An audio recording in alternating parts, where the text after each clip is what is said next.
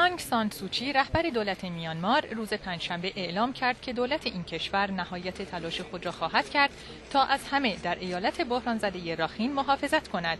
اگرچه او به طور مشخص به آوارگی اقلیت روهینگیا اشاره نکرد اما در جریان بازدید نارندرا مودی نخست وزیر هند با اشاره به اینکه قصد دارد برخی از توصیه های کوفی آنان را هرچه سریعتر به اجرا بگذارد گفت که دولتش در تلاش است تا از همه محافظت کند. او گفت ما باید از شهروندانمان مراقبت کنیم. ما باید از هر کسی که در این کشور است محافظت کنیم. خواه شهروند ما باشند و خواه نباشند.